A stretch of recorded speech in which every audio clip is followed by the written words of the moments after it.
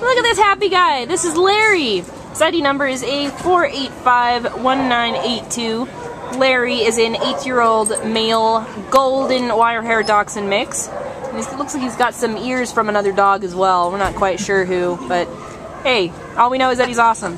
Um, came to the Baldwin Park Animal Care Center as a stray from West Covina on July 4th. Probably got spooked because of the 4th of July fireworks and now is in this uh, animal shelter. Not the best place, but we're going to do our best to help him out.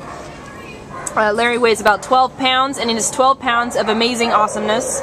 He's super friendly. He gets along with every other dog. He walks right up to them and says hi very politely with, with really great manners. Not too overwhelming or anything, which is amazing for a little dog. They're usually quite uh, in your face about it. But, you know, Larry, he's eight years old, so he's learned the proper way to meet and greet with other dogs.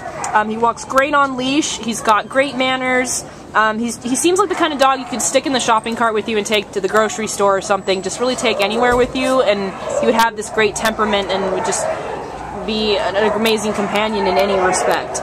Um, he loves people. He happily goes right up to them and wants attention, and he loves getting petted. He's enjoying a great ear massage right now, so um, if you have any of those to dole out, he'll happily take them. Um, he, he, definitely will um, relish the attention and love. He just seems like an all-around amazingly mannered dog, uh, kind of low-key, medium energy. Probably a great fit for someone who hasn't had a dog before. Any first-time dog owners, Larry would probably be a good fit for you.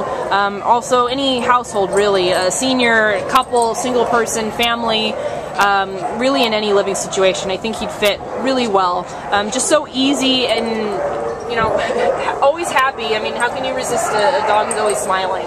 Um, so Larry's looking for a new home at the Baldwin Park Shelter. He's available now. so come and take a look. Um, you, you won't regret it, and he will just be so happy for the rest of your and his life that he's been rescued because you save a life when you adopt from the shelter. Bye, Larry. He's a happy boy.